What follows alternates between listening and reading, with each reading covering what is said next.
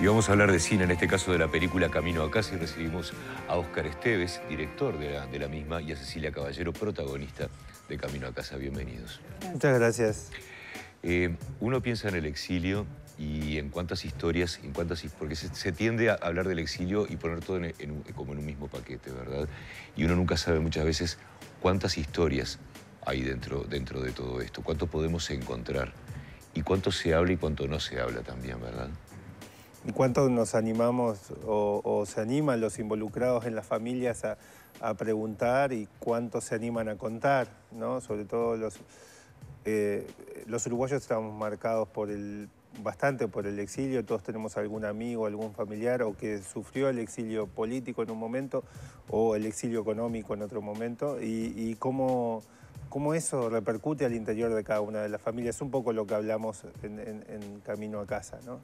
este, y cómo las decisiones a veces de los padres condicionan este, la vida de sus hijos y, muchas veces decisiones tomadas muy desde el amor, pero que influyen mucho en, después en, un hijo que se desarraiga siendo niño o adolescente y, y cómo es volver a insertarse en otra cultura, en otra sociedad.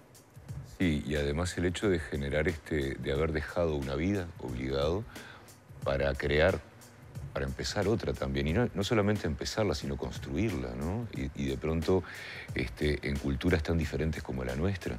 Y el adaptar también eso que nosotros llamamos la uruguayés, de pronto a sociedades un poco más ordenadas que la nuestra. Sí, eh, y, como en para mí el, exilio político o la dictadura lo, que hizo también es que eso es para siempre en el sentido de que después que una familia eh, viaja y eh, todo el desarraigo, eh, luego hacia adelante eso hace que varias veces más eso pueda suceder porque uno empieza a quedar, o alguien se queda por acá, después otro vuelve, intenta volver o no logra, entonces se vuelve a ir. Este, y, esto que tú decís, nosotros cuando nos fuimos fue difícil insertarse allá porque era, bueno, de hecho había, yo tenía seis años y, allá había televisión a color en todas las casas, que acá tipo, era algo, una novedad, y lavavajillas, que para mí era una especie de monstruo ahí que no entendíamos bien qué era. Y lo mismo pasó cuando volvimos. Para mí volver fue un choque cultural brutal. Para mí volver al Uruguay, era, habían dos radios, dos FMs cuando yo volví a Uruguay y era rarísimo venir de un país con toda la tecnología y todos los avances y un mundo más ordenado y económicamente más este, con, otras posibilidades. Y quizás, yo estaba pensando que quizás siendo una niña que, conoció todo esto, que o sea, tuvo ese primer choque cultural, volver a un país idealizado También. Por, los padres. En realidad idealizado por tus padres. Exacto, idealizado por los padres. Y, y, a ver, pudo haber pasado como no, decir, yo no estoy ni ahí con volver para acá. y, es, natural y está bien. Es que uno, por lo menos en mi casa lo que pasaba era que nosotros teníamos, bueno, eh, hoy se comen milanesas, que son de Uruguay. Hoy este, eh, vamos a escuchar a los olimareños, entonces teníamos, teníamos póster por toda la casa, era como siempre eh, mis padres trataron de que la cultura estuviera muy presente, la cultura uruguaya y las comidas uruguayas y qué sé yo, pero para mí eran añoranzas de mis padres en un punto, ¿no? Y entonces, eh, es más, el día que me dijeron nos volvemos fue un shock, porque para mí, sí, sí, un día íbamos a volver, quizás de visita, no sé, sí, un día íbamos a volver, pero no era una cosa real que íbamos a volver. Este, Em, para mis padres era algo muy importante volver. Para mí era, bueno, una cosa que iba a suceder, pero no estaba muy bien segura cuándo, ¿no? Era como este, eh, eso, añorar a través de tus padres al país. Oscar, ¿qué es lo que pasa en Camino a Casa? Contanos un poquito. Bueno, Camino a Casa es, una película que cuenta básicamente la, la, historia de la familia Caballero, la historia de la familia de Cecilia. Su papá cae preso en un momento, luego lo liberan, pero se pensaba que lo iban a volver a apresar.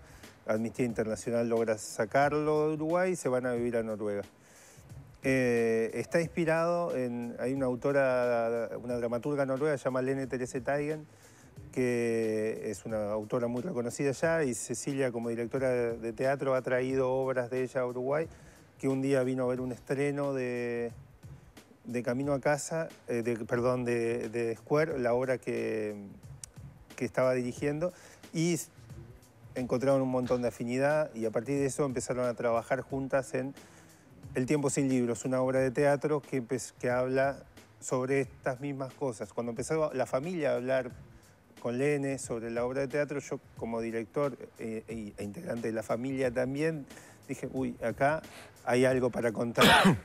Este, y poco tiempo después invité a Elin Moe, que es una directora noruega, que, está radicada en Inglaterra y que trabaja ahí como, como directora, de, directora y productora de documentales, a, acompañarme en este viaje. Elin había entrado en tercer año de escuela a una escuela nueva en Noruega y era compañera de clase de Ceci y es una de sus mejores amigas y bueno, nos dedicamos a lo mismo, tenemos una amistad. Y dije, vos conoces una parte de la historia, dominás el idioma, la película está filmada en Uruguay y está filmada en Noruega, no te querés sumar y juntos empezamos a, trabajar en la película y cuenta un poco cómo estas cosas no habladas, lo que hablábamos al principio, este, se empiezan a hablar. Y empieza a partir de la obra de teatro, que es lo que nos ayuda a ir contando todo el proceso de la familia, nos ayuda a nosotros a entender un montón de cosas y sobre todo a los integrantes de esa familia a poder conversar de cosas que no habían conversado, porque era un tiempo pasado, un tiempo doloroso, y generalmente las familias, sea cual fuere esos tiempos dolorosos, a veces se prefiere, bueno, de esto no hablemos, ¿no? ¿Está todo bien ahora? No hablemos de lo que pasó. Y hablar de lo que pasó nos ayuda a entendernos. ¿Y cuánto, a ver, ¿cuánto, ¿cuánto podemos entender nosotros, verdad, como, como uruguayos viendo esa película? Porque yo no sé cómo son otras sociedades, pero viste que el Uruguay se subdivide, siempre, estamos subdivididos. Si no es políticamente, es deportivamente, si no es deportivamente, es con los que se fueron y los que se quedaron. Este, los que se fueron que también están subdivididos de alguna manera, porque tú eras una niña y quizás no, no, no querías volver, no querías volver. O sea, es todo como una especie de fractal, ¿no? De subdivisiones que nos puede llegar a explicar algo de nosotros también viendo esta película. Sí, yo, sí, yo creo que, nos deja con interrogantes y con, como con la reflexión de pensar quiénes somos como sociedad, ¿no? Porque yo creo que eso está en nuestra sociedad y así como decís tú, ¿no? En nuestra sociedad eh, compartimos con otras personas tanto un trabajo, un proyecto o, no sé, algo cotidiano este, con alguien que es de otro lado de estos fractales, ¿no? este, pero en realidad lo humano y lo vincular se da igual porque, porque trabajamos juntos o porque compartimos juntos algo. Este, y entonces eh, a mí me parece que, es, es, una pregunta como sociedad, ¿no? También que, que, un, O porque un día le empujaste el auto a uno que se le quedó y no le preguntaste antes de empujarlo a quién votó, de qué cuadro es, ¿no? Digo, esas cosas que se dan. Exactamente. Yo creo que que más allá de lo político o de la ideología, de lo que habla la película, es del humano y lo, vincular, tanto dentro de una familia como para afuera, en nuestra sociedad, ¿no? Como decís vos, estas cosas que pueden suceder todo el tiempo. Y eso desde, al verlo, al, meternos adentro de una familia, creo que eh, la película nos ayuda a todos a reflexionar desde un lugar, no tan desde, desde un lado de la cancha o desde el otro de la cancha, porque todos tenemos un papá, una mamá, unos tíos que dejamos y que no vimos más o que nos comunicábamos solo por carta. Eh, es, el, exilio, creo que todas las personas y todos los uruguayos tenemos a alguien que lo ha atravesado, eh, nos atraviesa a los que estamos de un lado de la vereda o del otro de la vereda. Perdón, tenemos que cortar, pero tengo una pregunta para, Cecilia. ¿Qué pasa con, esa, con esa presión del, que vuelve? ¿no? Porque digo, eh, ponemos el ejemplo de los padres, los padres vuelven y bueno, vienen ya, siempre se habían ido con la idea de volver, pero a veces la hija del exiliado o el hijo del exiliado tiene esa presión también, le cae sobre, los hombros esa presión de los adultos, que nada, nada tiene que ver con los niños. ¿Cómo se vive eso? Sí, bueno, en realidad cuando volví lo viví terriblemente, muy mal. Este, fantaseaba con escaparme de, Uruguay sola, subirme un avión.